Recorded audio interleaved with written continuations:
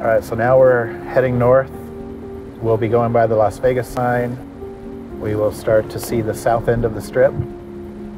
So here's one. It's telling me 10, 9. I'm going to drive and easing in with the idea that I won't have to come to a full stop, and there we go. So the information from the intersection is going to our traffic center. We have a connected vehicle module that is pushing all that data to Audi's engineer. Audi's engineer is taking all that data to predict and identify when the light will turn green. Then it gives it to their vehicles that have this service, and that all happens in about a second. A new slogan that we're starting to say a lot is technology is the new asphalt.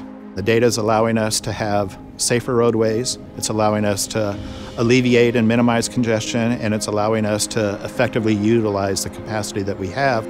So instead of going out and building new lanes, which is tough and expensive to do, let's use the data to make sure the signals are as efficient as possible. All right, welcome everybody to the AAA sponsored self-driving vehicle here in downtown Las Vegas. The vehicle that you're on is part of the most complex pilot to be run in the US and abroad.